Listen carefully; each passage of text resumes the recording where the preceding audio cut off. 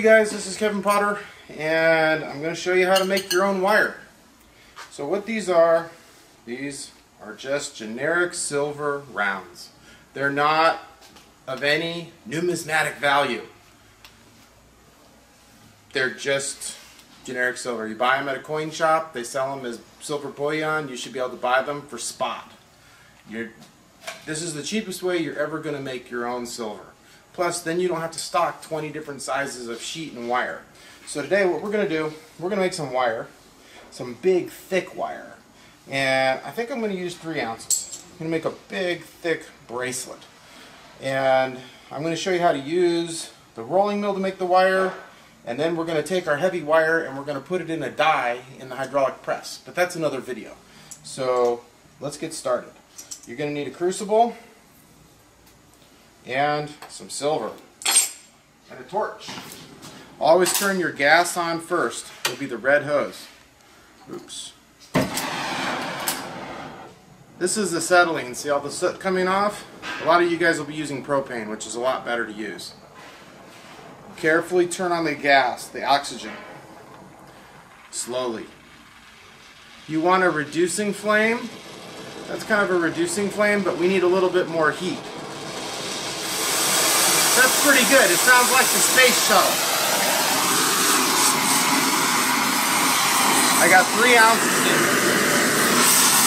Kind of neat, huh? Alright, here we go. Keep the edge of your crucible so you don't get a cold pour. I'm going to pre-warm this a little bit. It'll be fine.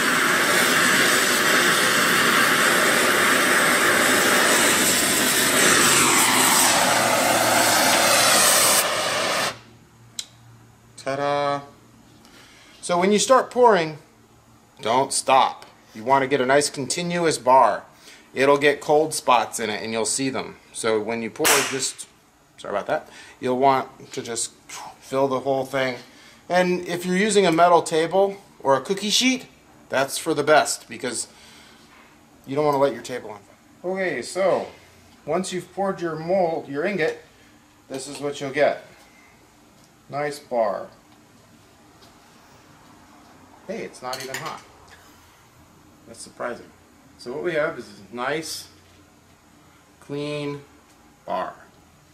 Next step, to the rolling mill. So we'll start with our largest, this all this mill has is wire. Doesn't It's not a combo mill, it only does wire. So we're going to start with the biggest size we got. You start off nice and slow, rolling it through.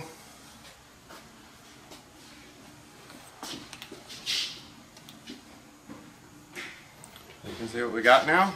It's getting pretty square. You don't want to roll these uh, flashings in too much because you can get like flaking on your bar. So I'm going to spin this thing to kind of get it squared up. You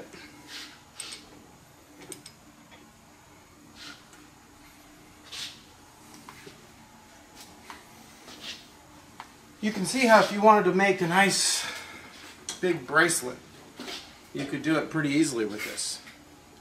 Plus, if you had to buy this piece of wire, it'd be a lot of money.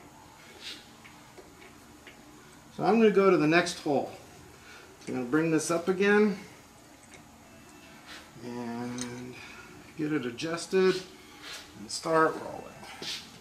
I probably could have taken a bigger bite, but we're just getting it going.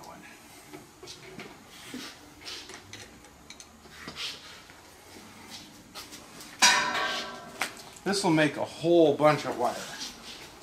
And it really doesn't take very long to do it.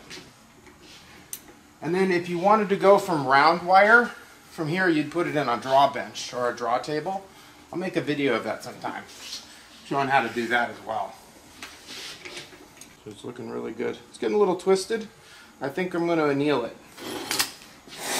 When you anneal, you want to do it in low lighting so you can see when the silver turns red. You want a dull red. My trusty assistant is going to turn the lights down for us.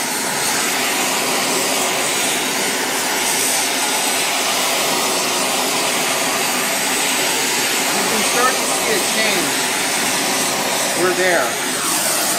Nice dull red. I'm going to take it a little higher.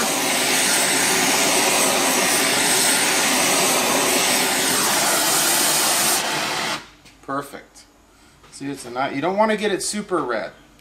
Your metal will crystallize, and then you'll get cracks. That's where a lot of people have troubles when they're rolling metal. They think it doesn't work. They're overheating it. You don't want to overheat it. I like to air cool it. It uh, I don't seems to crack less. So we're going to take it over here. Now you would never want to do this when it's red hot. Your metal will crack. Be sure and wipe your anvil off. And then just gently form it down.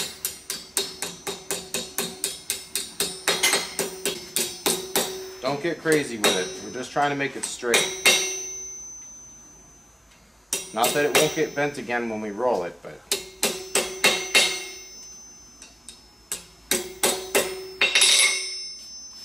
There we go. Now, we take and pull it off a bit. There we go. So now we have an awesome piece of square wire. Now, don't put wet wire in your rolling mill because it'll rust. You know, tighten it down a little bit, roll it through.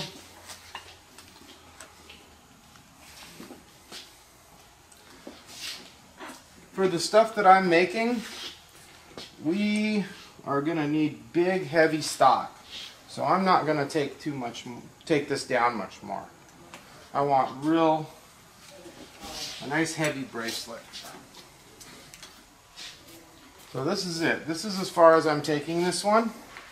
And then the next video we'll show you how we make it into a patterned bracelet. Let me give you the close-up. So there it is. It's looking really good. There's no cracks anywhere. It's really solid. No pits. And uh, it's a nice piece of metal.